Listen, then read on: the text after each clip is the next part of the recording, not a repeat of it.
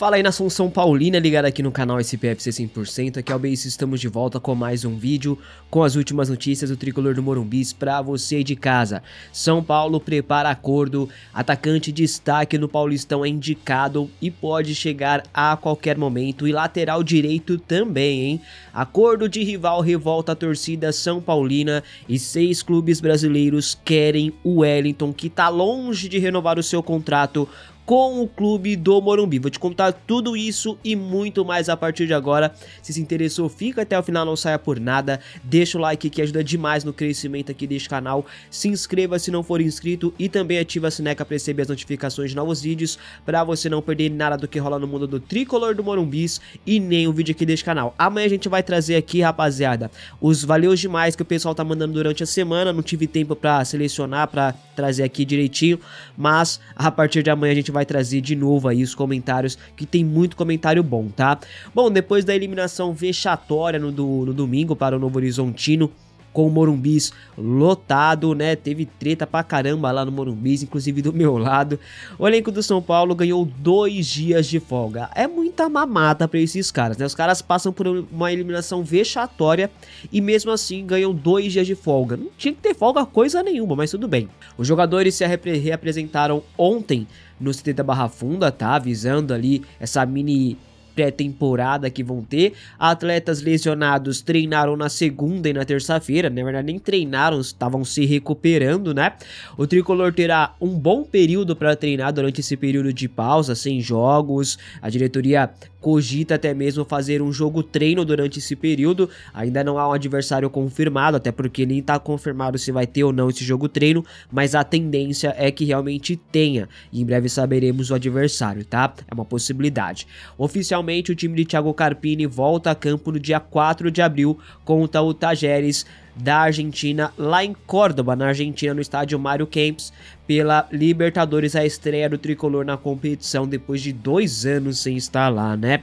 Lembrando que os convocados estão com suas respectivas seleções para os amistosos dessa data FIFA já os lesionados têm retorno ainda incerto. No caso dos que estão mais tempo, por exemplo, o Rodrigo Nestor, o Luiz Gustavo, ainda temos no DM ainda o Nicão, o Wellington Rato, Caleri e os mais recém-chegados pro DM, o Moreira e também o Patrick Lanza. O Moreira de novo lesionado, cara.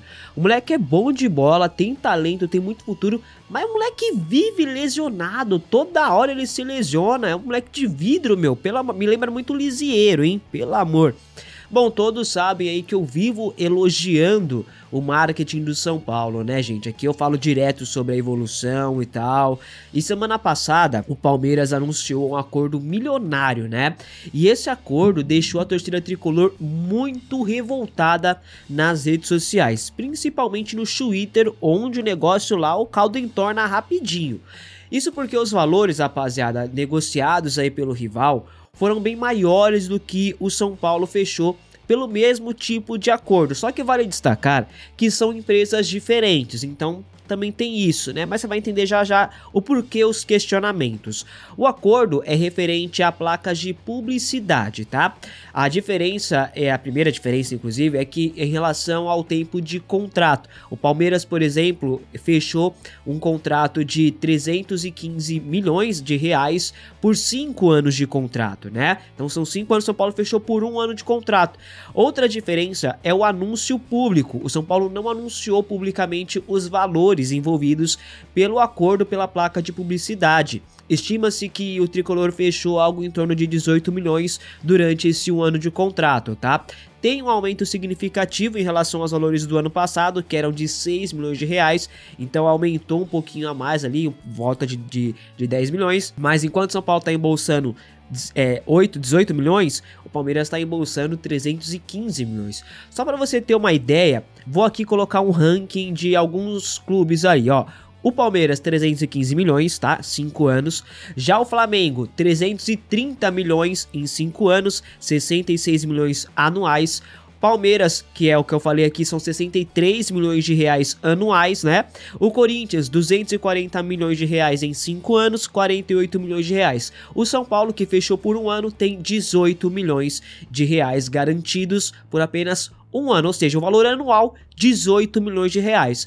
A disparidade em, em, relação aos rivais preocupa demais a torcida e é uma preocupação sim justa, plausível, né? Mais uma vez o São Paulo saindo atrás em relação aos rivais no marketing. Isso não pode acontecer. Eu repito aqui, elogio muito o marketing, evoluiu bastante as finanças do clube. Os acordos evoluíram, cresceram, duplicaram, ficaram muito legais. Só que com a força da torcida, com o tamanho do São Paulo, a gente sabe que pode melhorar muito mais, tá ligado? Por exemplo, o São Paulo fechou com a Superbet, beleza, duplicou o que tinha com a Sportsbet.io, só que o Fluminense, que tem uma torcida muito menor do que a do São Paulo, vai receber quase a mesma coisa que a gente recebe entende? Então esperamos que nos próximos anos esse cenário de acordos do São Paulo melhore cada vez mais e a gente realmente receba aquilo que a gente tem que receber, porque o São Paulo é gigante, gente. São Paulo é, é cenário mundial, tá ligado? Não pode receber menos que Corinthians, que Palmeiras, pelo amor de Deus. Antes de continuar com as informações, porque tem muita informação, link no primeiro comentário fixado para você que curte fazer aquela fezinha, vem com a Betano, tá? Com o cupom SPFC100 você já tem garantido até 500 reais de bônus, mas a Betano está fazendo uma promoção especial para você aí, torcedor São Paulino. Clicou aqui no link no primeiro comentário fixado, colocou o nosso cupom SPFC100, você vai ter só de boa, sem precisar fazer nada, só o cadastro, 20 reais de free bet. Clicou aqui, cadastrou, automaticamente já recebe 20 reais de free bet para você apostar tranquilamente com a Betano e se divertir lá nos principais jogos das competições. Agora tem amistoso, mas você pode fazer essa fazer também nos amistosos, tá, rapaziada? Não perca tempo não, aproveite aí essa promoção porque é por tempo limitado, tá? Não vai, não é, vai durar resto da vida não. Link aqui no primeiro comentário fixado, coloca o nosso cupom e aproveite porque é por tempo limitado. E a torcida São Paulina sempre dá show no, no estádio, né? Vai ao Morumbi, apoio nunca falta. Mas uh, o São Paulo já está um mês sem vencer no Morumbi, né, gente? São Paulo não vence seus domínios, são sete jogos neste ano, três vitórias, e a má fase começou naquela derrota no dia 14 de fevereiro para o Santos no Clássico, 1 a 0 né? Depois São Paulo voltou ao Morumbis, cedeu empate no finalzinho para o Bragantino, depois empatou com o Palmeiras e também com o Novo Horizontino, e vale lembrar que três desses jogos o São Paulo foi simplesmente garfado pela arbitragem, né? Uh, mesmo assim, tem que ligar o sinal de alerta, o, o Carpini tem que corrigir muita coisa, principalmente a bola aérea defensiva do São Paulo, que é um, é um bumba meu boi, é uma loucura, né? Tem que melhorar muito a criatividade do time. Vamos ver o que, que vai acontecer, porque demissão não vai acontecer tão cedo.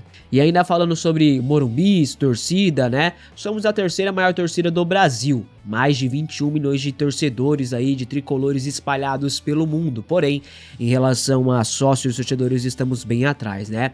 O GE fez um levantamento sobre os clubes com mais sócios torcedores no futebol brasileiro. E tá assim: Palmeiras em primeiro com 176 mil sócios, Internacional 140 mil em segundo, Grêmio 112 mil em terceiro, Atlético Mineiro em quarto, Flamengo em quinto, Bahia em sexto, Fluminense em sétimo, Botafogo em oitavo e o São Paulo aparece apenas na nona colocação com 55 mil sócios até esse levantamento, mas dá uma segurada que eu vou te trazer outra informação.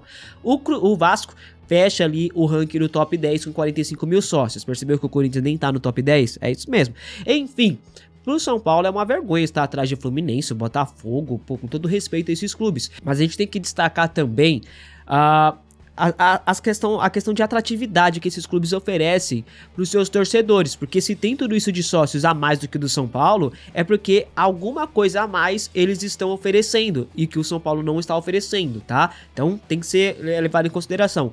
Hoje o São Paulo não tem mais 55 mil sócios. Isso diminuiu para é, 54.900 sócios torcedores do São Paulo. Por que, bicho? Por conta da má fase, por conta também uh, de não ter tanta vantagem assim. E muitos compraram para ter vantagem na final da Copa do Brasil do ano passado e depois cancelaram.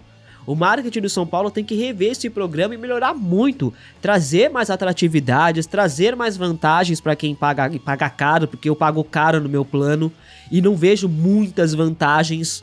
Acho que poderia ter muito mais, então tem que dar uma olhada ali com mais carinho pro programa sócio torcedor, pelo menos na minha humilde opinião.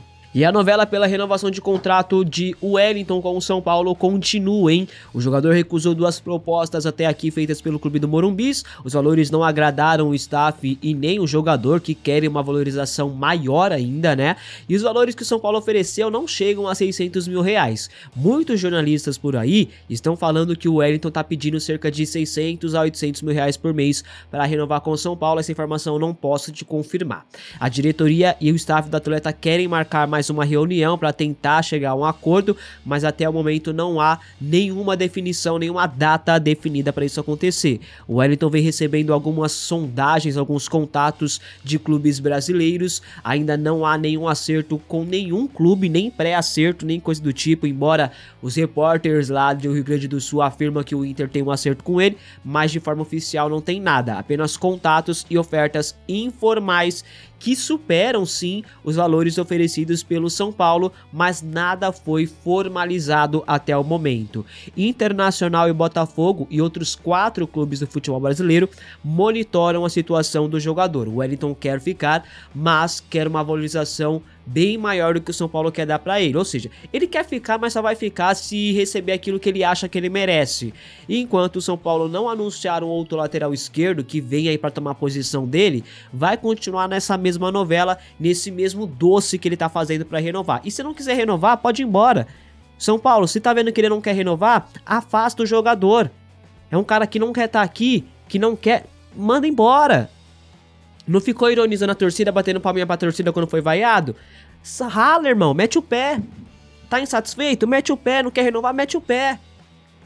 Se fosse anos atrás com uma diretoria séria do São Paulo, se fosse lá no, começo dos anos 2000, o Wellington nem tava treinando com o elenco mais. Mas hoje ele continua sendo titular absoluto. Por quê? Porque não tem opção. Porque a diretoria, desde dezembro, não conseguiu contratar um lateral esquerdo. Mas se eu critico o Casares, eu sou ruim, né? Bom, vamos à informação aí para finalizar o vídeo. São Paulo tá fechando mais uma contratação, hein? Trata-se de Maceió. Não a cidade, não, e sim um atacante da portuguesa. O presidente da Lusa revelou conversas com Júlio Casares e disse o seguinte, abre aspas. Falei com Júlio Casares hoje mesmo sobre Maceió.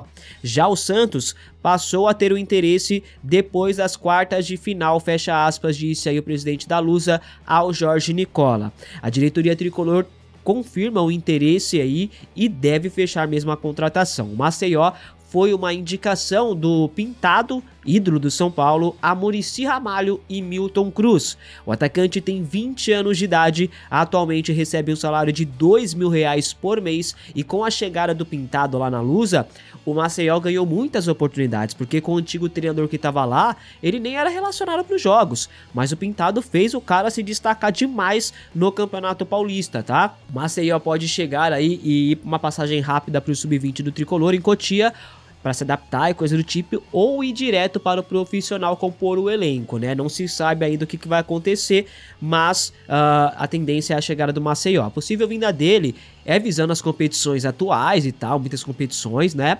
Mas também visando principalmente o futuro, né? Em breve podemos ter novidades aí nessa negociação e o Maceió reforçando o São Paulo de forma oficial. Além do Maceió, o São Paulo também tem interesse no Thales, lateral direito também de 20 anos, também da portuguesa, desperta o interesse do tricolor aí, tá? Muitos torcedores do São Paulo em relação ao Maceió ficaram questionando do porquê trazer o Maceió, sendo que você tem o William Gomes e o Henrique, que podem ser lapidados e serem utilizados no São Paulo. Porque realmente não tá fazendo muito sentido. O que tá acontecendo com o William Gomes, que não recebe oportunidade com o Carpini? E o Henrique, que tá aí com, com, joga, com, com times da Europa, por exemplo, o Bayern de Munique, monitorando o moleque faz tempo e o moleque não joga. Aí você vai me trazer um cara de 20 anos da portuguesa que também é uma aposta. Assim, tem coisas que não dá para entender, só acontecem no São Paulo. Mas se a gente critica a diretoria, os lambisacos do Casares vêm aqui e critica a gente, bota hate. Eu acho que o São Paulo tem que analisar bem esse tipo de contratação. Não é o foco, o principal alvo do São Paulo nesse momento. Não é a necessidade do São Paulo nesse momento. Nada contra o Maceió, nem conheço, nunca vi jogar. Mas assim, atacante e lateral direito, não pode. Agora não. Tem outras coisas mais importantes pra gente resolver, por exemplo, a lateral esquerda. Ao invés, invés de estar tá indo atrás do Maceió, do, do Thales, para funções que já temos jogadores no elenco para suprir possíveis ausências, vai atrás de dois laterais esquerdos e fecha logo a contratação para não ficar dependendo do Wellington, que tá fazendo doce, gente, que tá mal. Então, tem coisas que não dá para entender no São Paulo. A diretoria de São Paulo, assim, cara, eu tento não criticar, mas eles não facilitam. A gente precisando de laterais esquerdos e os caras vão me trazer atacante de novo, vai me trazer lateral direito de novo. Vai colocar onde, irmão? Pô, vai pro sub-20, base, não sei o que, tudo bem, mas foca suas forças, foca os seus esforços em trazer dois laterais esquerdos que vêm para ser titular. Que vem para botar o Wellington no lugarzinho dele. Mas enfim, né? Pelo menos essa é a minha opinião. Quero saber muito a sua, comente aqui abaixo. Obrigado por ficar comigo até aqui. Se gostou, deixa o like, se inscreva aqui no canal se não for inscrito. Tamo junto, rapaziada. Forte abraço. É nóis. Assista esse vídeo aqui do canal do Base também, vai.